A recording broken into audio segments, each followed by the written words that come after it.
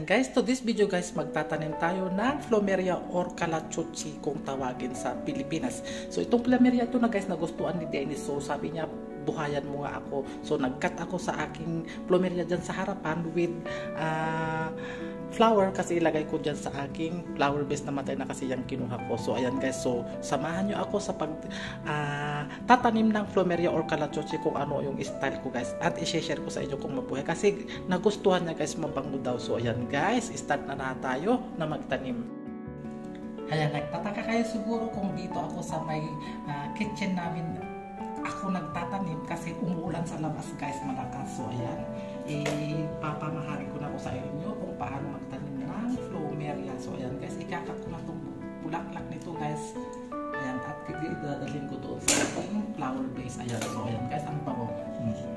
Ayan, hinarvest ko ito guys sa aking tanim dyan sa harapan. Ayan, so ayan guys, white plumeria and yellow yung nasa loob niya guys, yung sa may gitna niya. Ayan, pero ito yung guys, yung plumeria na mabango.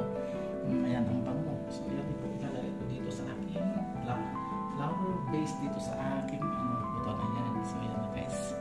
And ngayon, papaanood ko sa inyo kung paano yung start ko magtanim ng plumeria. Ayan, so guys, ito ikakat natin itong dahon niya. Wala na tayong ititira. Ayan. Ayan, so yan lang ang matitira guys. And ito guys, dito sa dulo, straighten lang natin.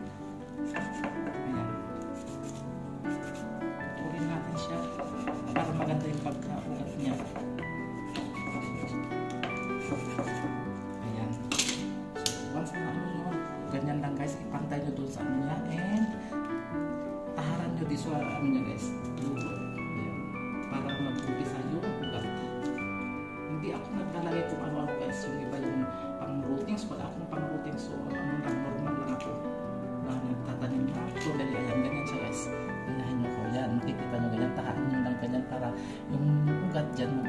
So wala akong ginamit guys, may aloe vera ako, maglalagay sana ako ng aloe vera, pero doon sa labas, pero wag na.